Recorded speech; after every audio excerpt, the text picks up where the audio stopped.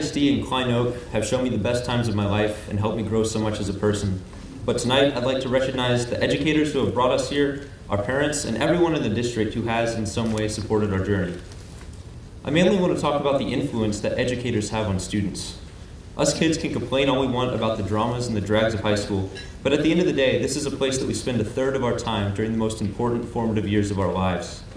We develop relationships with our teachers, and whether we realize it or not, we often learn a lot more in an algebra classroom than just algebra. I discussed this a bit in my description for my lovely guest, Mrs. Lindley Coas, that sometimes the school building is the only place a kid may feel validated or appreciated by an authority figure.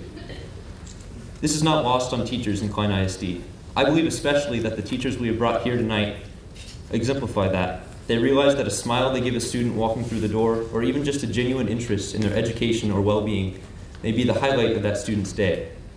That may, may be the thing that makes them graduate high school against the odds or develop a sense of empathy in a household that has none. And they do this so selflessly.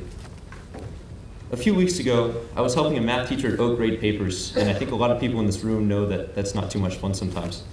But uh, noticing this, I said something along the lines of, You must really love math if you're willing to grade papers all the time. And she said, Math? I don't love math.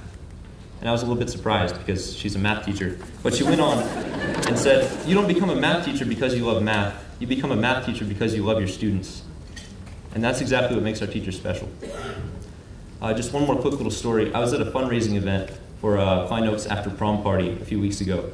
And uh, I met my first grade teacher, my second grade teacher, my third grade teacher, the librarian, and the principal from my elementary school. And they all recognized me, they all knew me by name. So that just shows how special this district really is.